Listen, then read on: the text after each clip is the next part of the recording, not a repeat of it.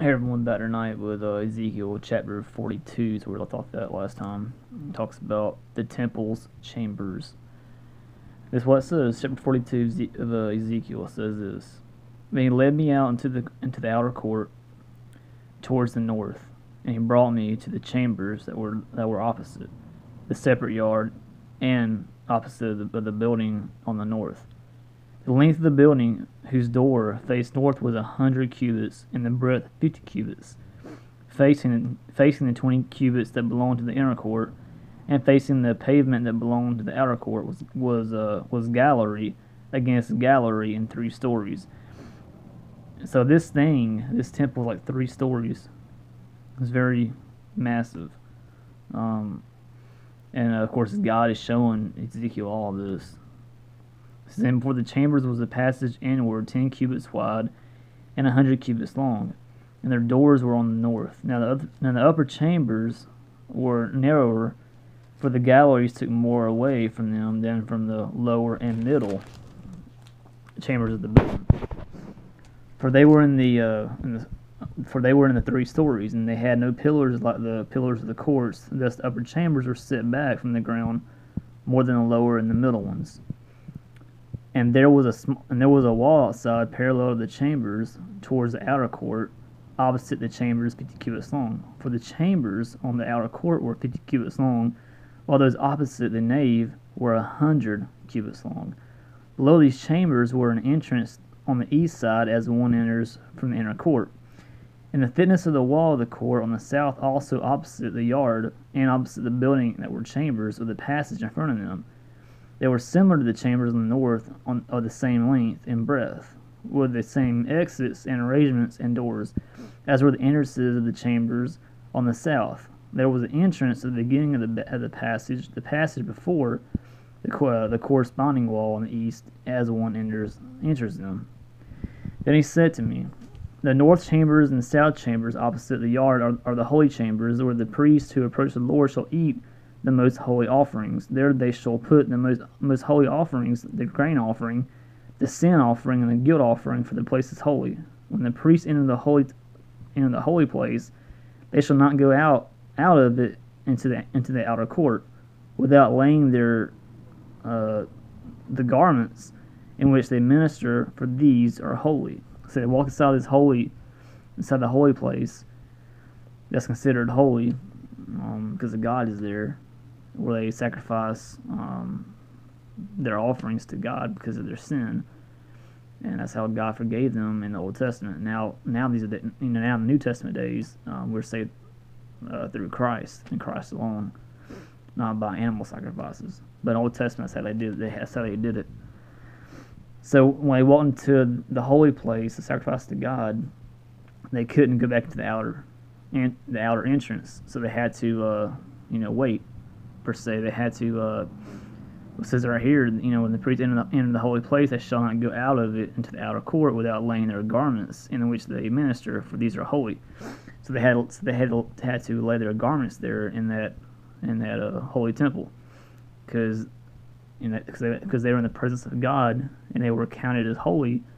Um, so they had to leave their garments there, um, you know, and walk out of there with, without their garments on, pretty much because they were considered holy because they were they were um, they were you know in the presence of God, and um, they laid their garments there so they could go out um, to the people.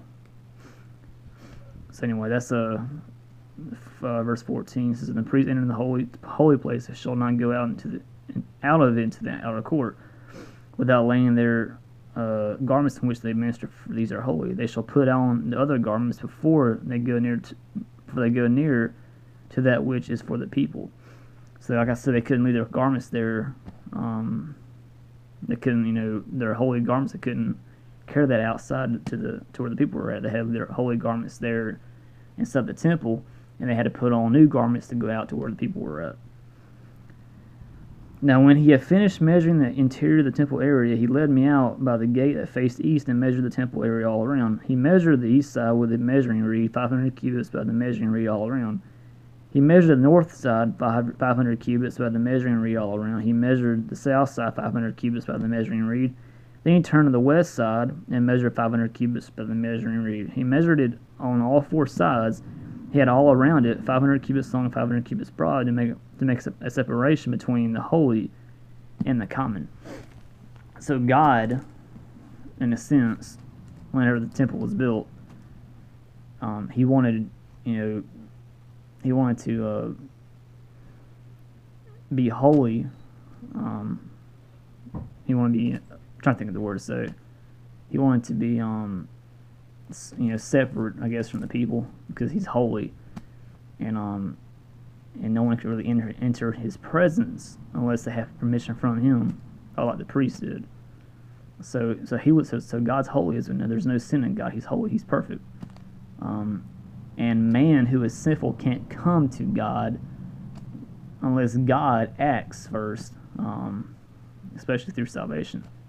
Um, we can't be counted as righteous until God Himself saves us, breaks us. You know, He, he, he breaks our hearts. He, he, he, he, he just like crushes our spirit, which then leads us to repent of our sins and live, and live our lives for Him because then we start seeing the way God sees. We start, you know, we start loving the things that are holy, and we start hating things that are sinful.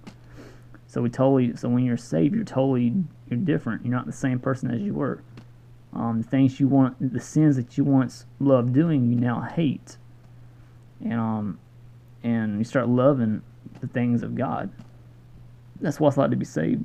Is you know, it's just when God saves you, it's like you, your whole um, perplexity on life changes. The things you once, you know, the sins that you once hated, not um, the sins that you uh, once uh, loved, as I'm trying to say, you you, you hate now, and and uh, you start you know you start hating sin and you start loving God. It's like it's like it's like you, you're totally changed forever when God saves you.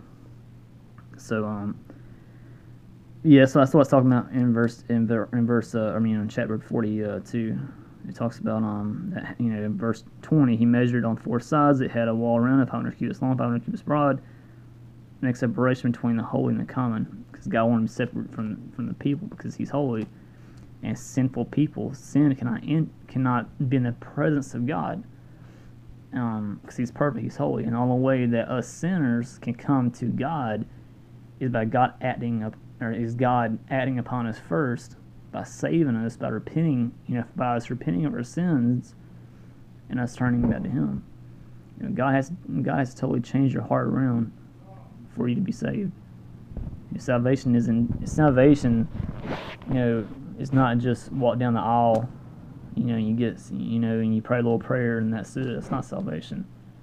It's good to pray. It's good to do those. Know, it's good to pray. It's good to do those things. But salvation is when God Himself chooses to save you. He uh, He saves you.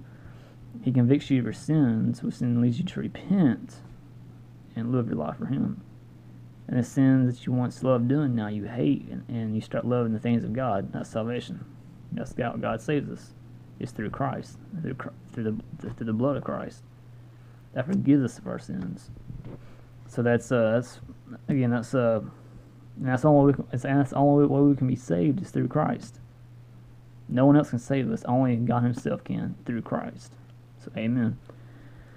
So that's 42, and I'll be back with 43 here shortly.